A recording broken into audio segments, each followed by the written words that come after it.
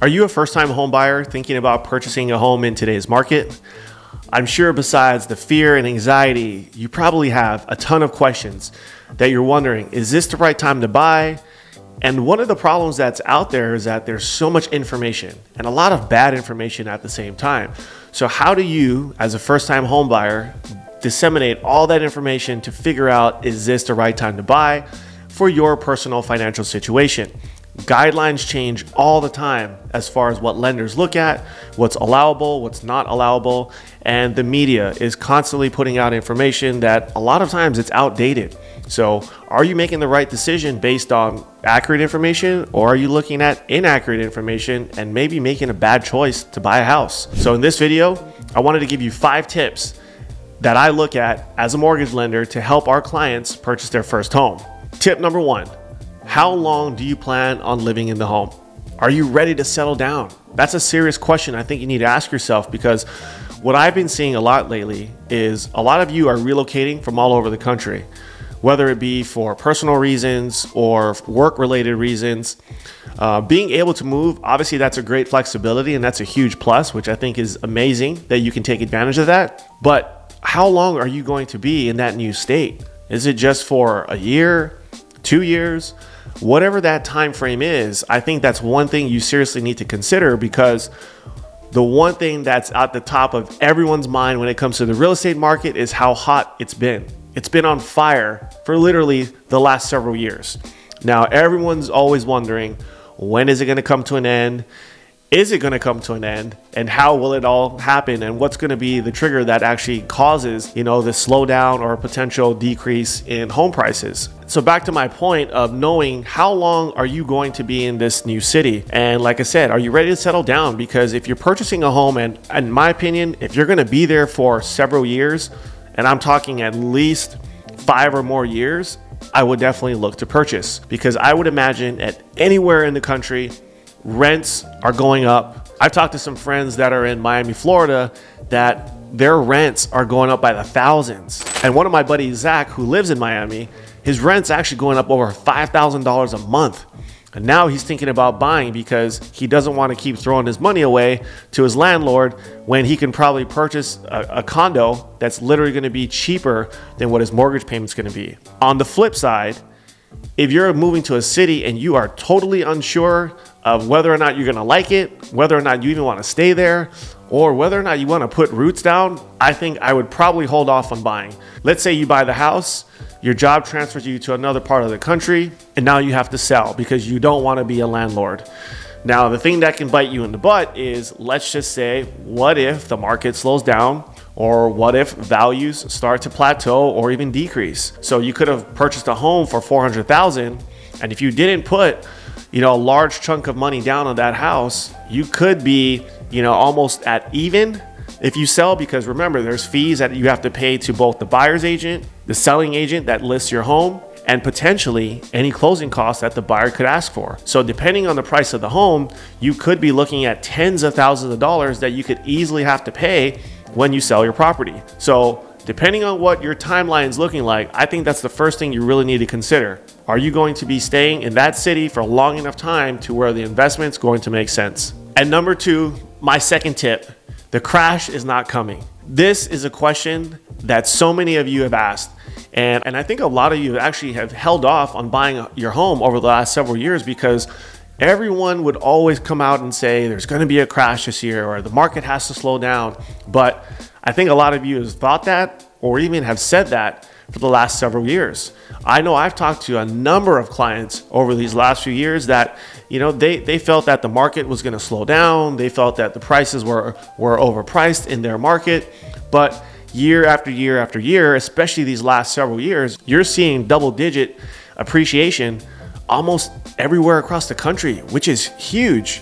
So if you would have bought a house two or three years ago, four years ago, five years ago, how much equity would you have to your name right now? And I think that's one thing a lot of you missed out on was trying to anticipate the market too much.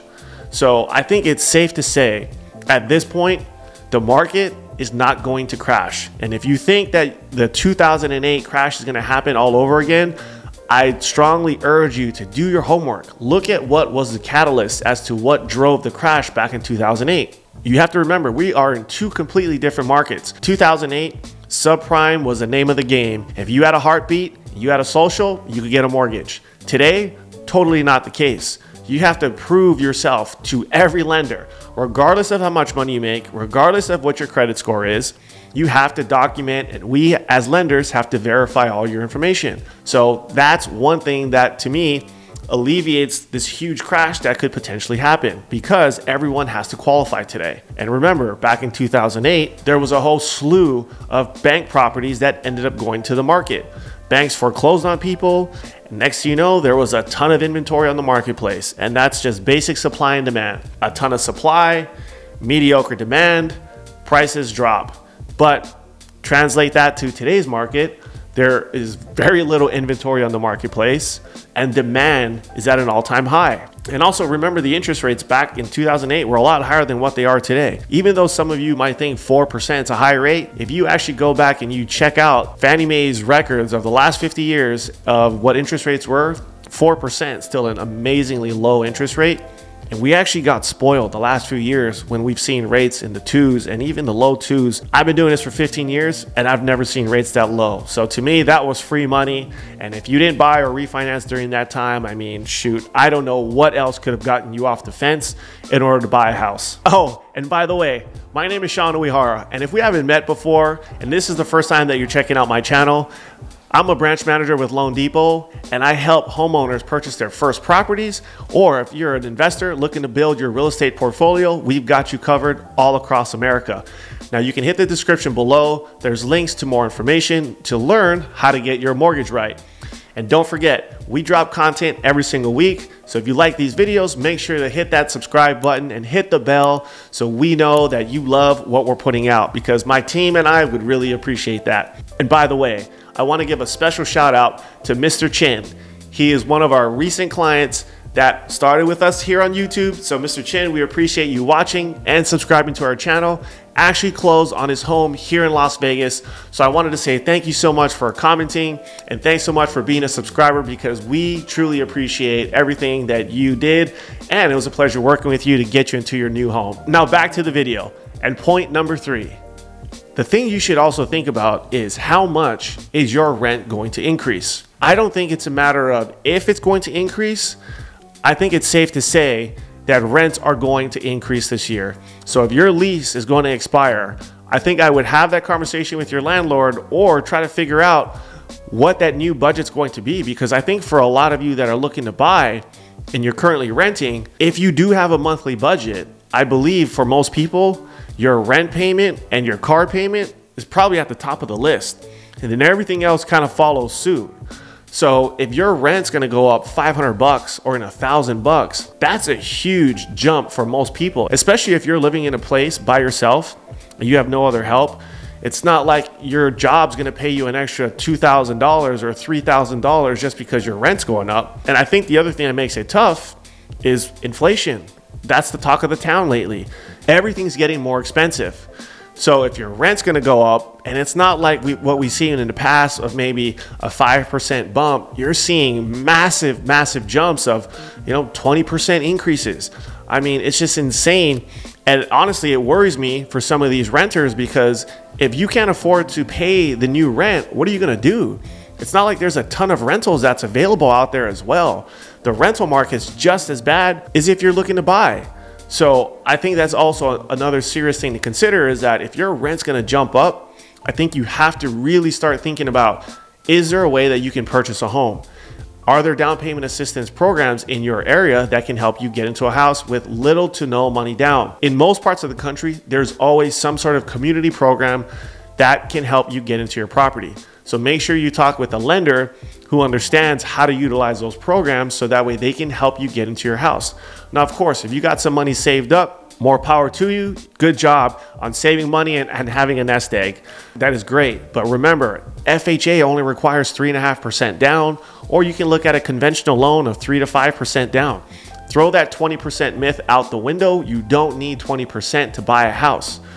Remember, you can also get a gift from a family member, or even your employer can give you a gift in order to buy a house with a down payment. So there's a lot of ways that you can get into a home. You just got to be a little resourceful. And again, like I always talk about, make sure you talk with a lender who knows all these options that can guide you into your property. So you may need to start planning maybe six months or a year in advance in case you need to work on your credit or do anything else to get you in a position so that you can purchase your home. Tip number four do not be house poor.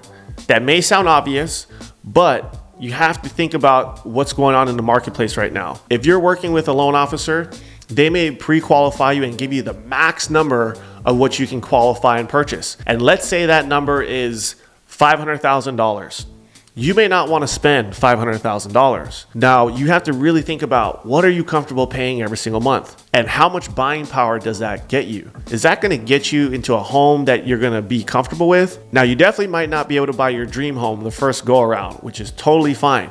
Remember, you just want to get in the door so that way you can start building some equity and some wealth through real estate. Now, let's just say you bought a house five years ago, you made a couple hundred thousand bucks and you sold today, maybe now you're buying your dream home.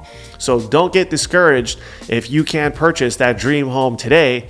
There's so much more opportunities that will come down the road that maybe you can buy that house in several years. So make sure you get in the door. But remember, don't be house poor because the last thing you'd want to do is slave yourself working endlessly and tirelessly just to make your mortgage payment whenever we work with first time homebuyers, I always like to know what they are comfortable paying. I don't really care about how much the maximum is because I honestly don't even want to get them to their maximum. I like to be, if you remember, you got the devil on your shoulder and the angel on the other side. I like to be the angel because it's so easy as a buyer to get emotionally wrapped up into the deal. You go out and you're starting to look at homes, you start envisioning you coming home, if you have a family, you know, your kids picking out their bedrooms.